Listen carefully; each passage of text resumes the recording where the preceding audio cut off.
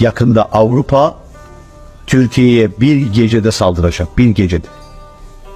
Niye biliyor musunuz?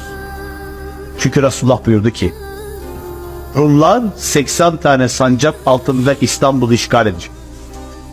Peki ben şimdi size soruyorum. İstanbul'u işgale girişecek olan Rumlar nasıl Resulullah sallallahu aleyhi ve sellem merhameti gerçekleştiyse, söylediği deprem gerçekleştiyse, nasıl Mehdi binlerce alametle geldiyse, nasıl Resulullah sallallahu aleyhi ve sellem her vakada yaşanan, anlattığı yüzlerce hadise gerçekleştiyse, emin olun bu da gerçekleşecek. Çok yakın. Hazır olmayacak mıyız? Ben size bir şey söyleyeyim maalesef hazır olmayacağız. Çünkü Müslümanlar yine bu nasihatı kulak ardı edecek, kulak ardı edecek, başlarına geldiğinde de evet söylemişlerdi diyecek.